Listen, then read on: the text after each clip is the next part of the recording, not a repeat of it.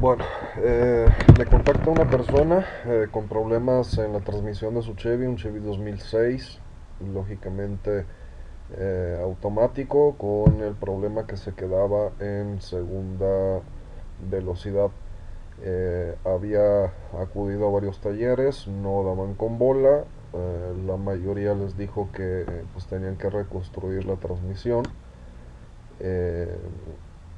Reconstruir o, ajuste o no sé cómo se les diga en, su país o en su lugar de origen y eh, aproximadamente eran 1200, eh, 1200 dólares. 12 mil pesos son como 800 dólares o 300 dólares aproximadamente.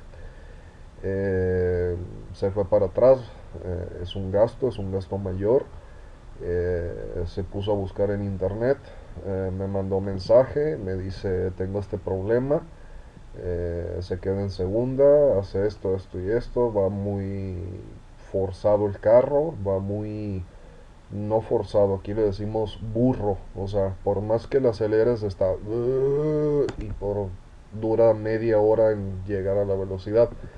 Esto se debe a que el carro no mete primera marcha, uh, se queda en caso de este amigo se quedó en segunda. Normalmente se queda en tercera. No sé por qué a él se le quedó en segunda. Capaz y, y tiene otro problemita ahí de los solenoides. También eh, se le comentó eso para que lo verificara.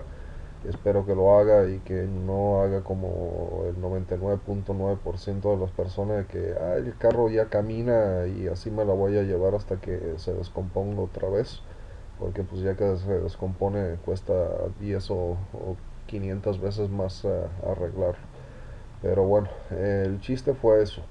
Eh, por suerte esta persona desconfió del mecánico.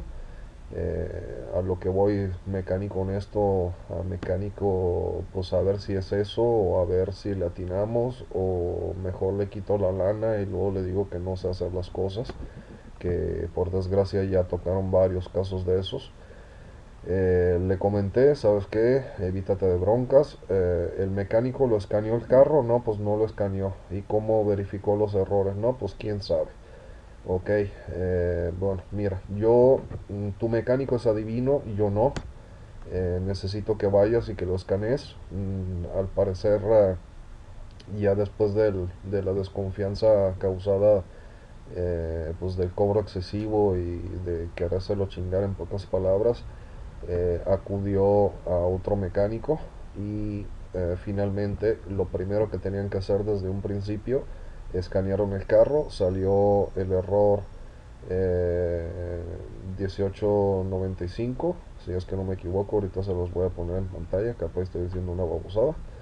Y eh, simple y sencillamente era el sensor de posición de la palanca de velocidades que sé que no es la palanca de velocidades y que es la palanca selectora de quién sabe qué cosa que me dijeron el otro día en un comentario, pero bueno, cuando ponían en drive o en reversa o en parking o en 2 o en 1, eh, simplemente la computadora no se daba cuenta de eso porque eh, el circuito que determina está en la parte superior de la transmisión eh, estaba sucio creo que se gastaron, no sé, si ya tenían ahí las cosas, o sea, el WD-40, Carboclean, gasolina, eh, diésel o lo que hayan utilizado, espero que, que haya sido diésel para no afectar los plásticos y, los circuitos.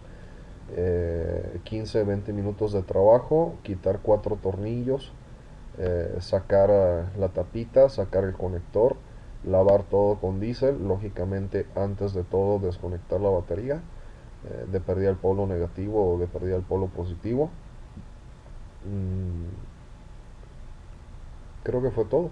Sacar la pieza, lavarla, eh, volverla a poner, ponerle un poquito de grasa a los circuitos en dado caso que, estuvieran un poquito mojados todavía y pues la grasa sirve para, evitar chispazos adentro de la, aunque sean 5 voltios, pero produce una chispita y eso deteriora los contactos.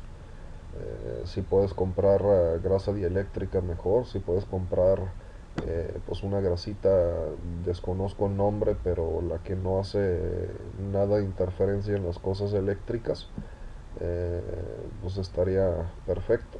Se la pusieron, volvieron a armar todo y creo que en menos de tres horas tenían un carro funcionando, se gastaron, yo digo, 200 pesos, se me hace mucho. Eh, no sé cuánto le haya cobrado el mecánico, ahí sí se me fue rollo de preguntarle eh, me dijo que porque si era algo tan simple se lleva tanto, pues simplemente porque las cosas se hicieron mal desde un principio. Eh, como les comento, un diagnóstico correcto, lo primero es ver si la computadora está recibiendo todos los datos que ocupa.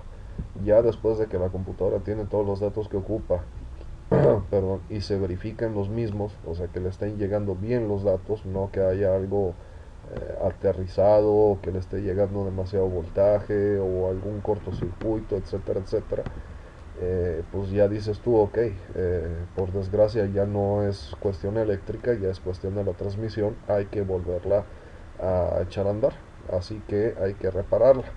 Pero mientras la transmisión y todos sus componentes estén funcionando y el problema sea eléctrico, va a por mí puedes volver a hacer la transmisión 10 veces, pero el problema va a subsistir y eh, aunque la transmisión esté nueva, por un selector sucio, eh, repito, menos de dos horas de trabajo, 15 minutos, media hora, no sé qué tantas habilidades tenía el mecánico, eh, se pudo reparar, se ahorraron casi 12 mil pesos en, un trabajo que no necesitaba y el carrito pues sigue andando por espero muchos kilómetros más.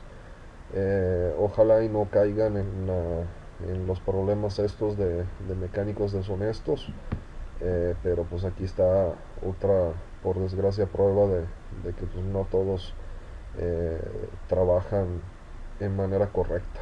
Pero bueno, ni modo.